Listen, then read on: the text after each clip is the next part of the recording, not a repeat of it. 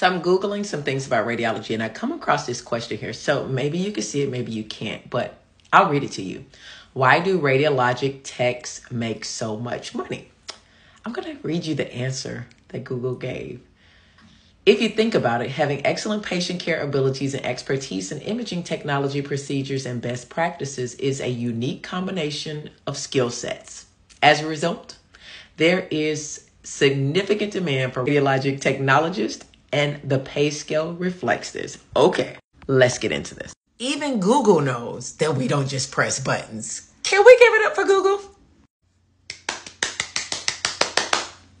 Anyway, back to what I want to talk about.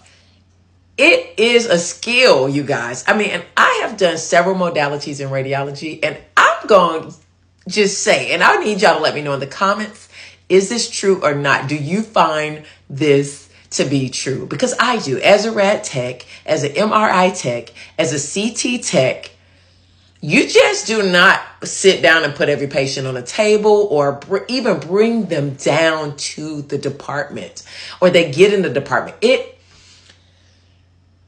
it is a lot of you know, you just got to do a lot. Patient care, you still got to do some mathematics. I had to do some math today um, because the machine just was not doing the math. And I had to figure this out how to get this image quality right.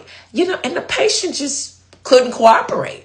So, as the technologist, not button pusher, as the rad tech, you have to still give patient care because you got claustrophobic patients, you got sedated patients, you got patients with implants, you got the list goes on. If I'm missing something, let me know in the comments. But you guys, I think Google is spot on. And our pay reflects that. So when people think that rad techs, imaging professionals, medical professionals, just we are overrated, sorry y'all, we're not. Just look at this definition and check the comments because I know y'all gonna chime in.